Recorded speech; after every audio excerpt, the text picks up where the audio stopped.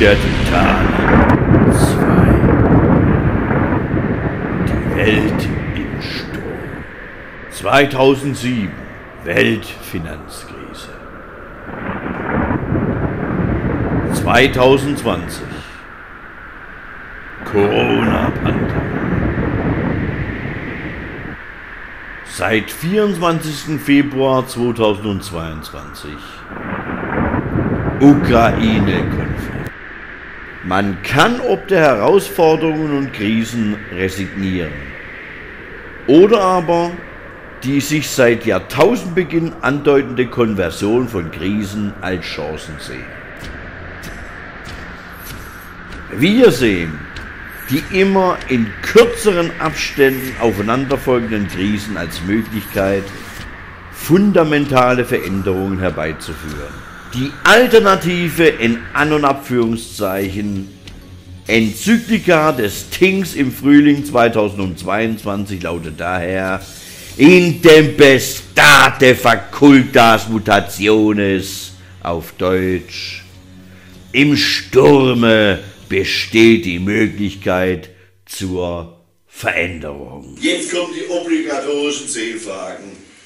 Langweilig, wann und wo geboren?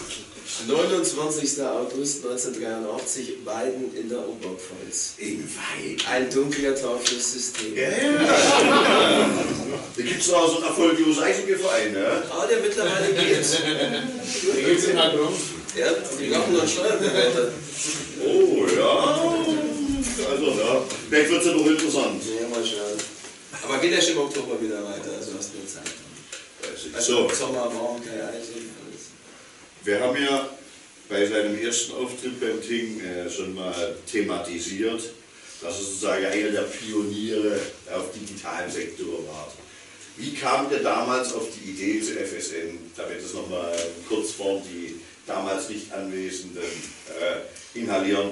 Die Frage ist, was ist FSN? Ob man das Radio oder das, äh, Also euren digitalen Kanal, euren Kanal. Ja. den Videobereich. Genau.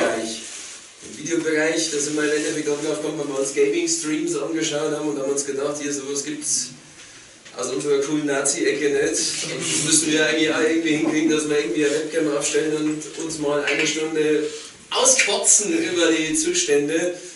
Und so, dass sich jeder mal ein Bild machen kann, wie wir ohne Spiegel-TV-Untermalung in Wirklichkeit drauf sind. Das war so die Grundidee und nachdem wir ein halbes Jahr das nicht hinkriegt haben, ging es dann irgendwann technisch.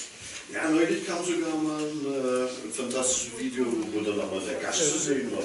Echt? Ja, ja. So ich war auch der zweitklassiger Gast. Ja, ja, gut, dann kommt er. Ja, ist einfach mal so. Also, natürlich kommt jetzt die Scheiße.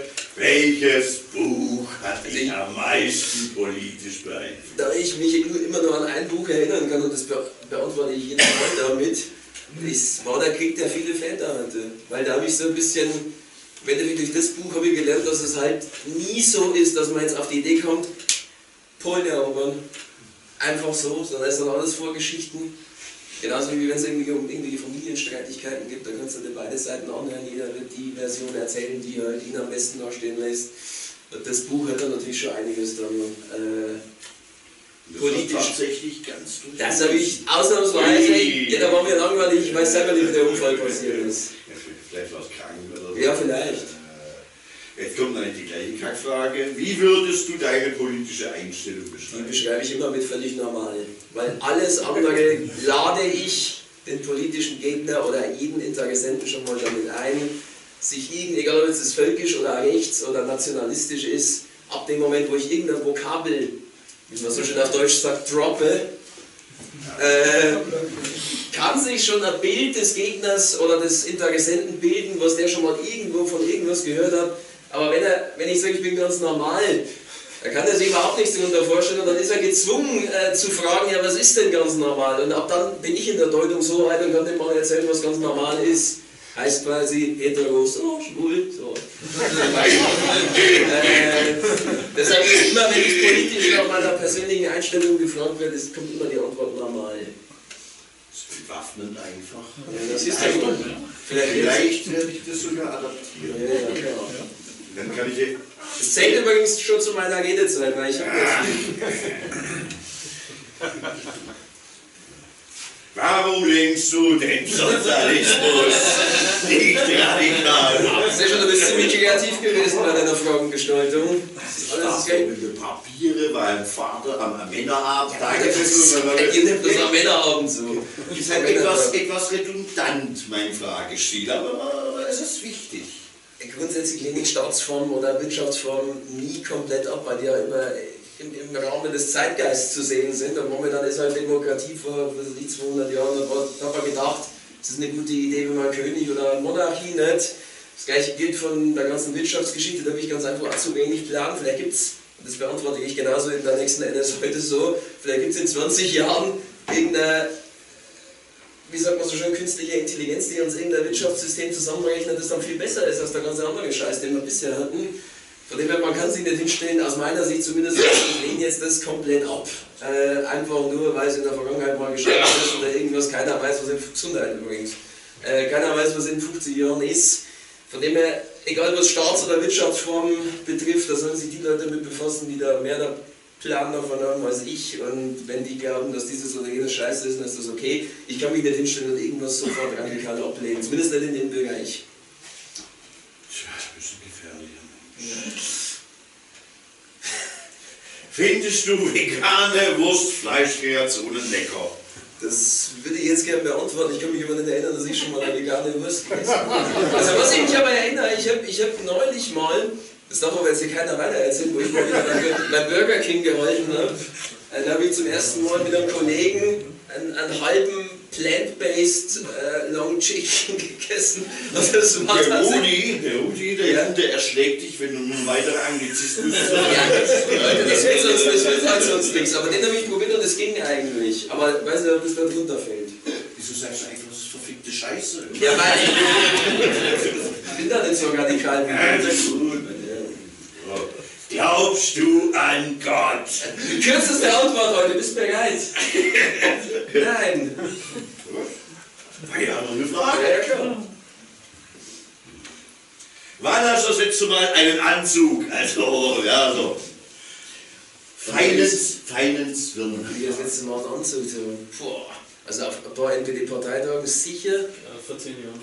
Naja, ja, da, da haben wir es noch ernst genommen damals. Was, das lassen wir überlegen. Ja, es könnte schon vor ein paar Jahren bei irgendeiner Hochzeit auch Also mal gewesen. Hochzeit, Taufe oder lädt Ja, man sowas. sowas nicht mal ein. Ey, meistens nehmen wir mich nicht mehr ein, aber wenn man mich dann einlädt, ziehe ich Anzug. Also ich muss jetzt zu meiner Stande gestellt, er hatte einen Anzug.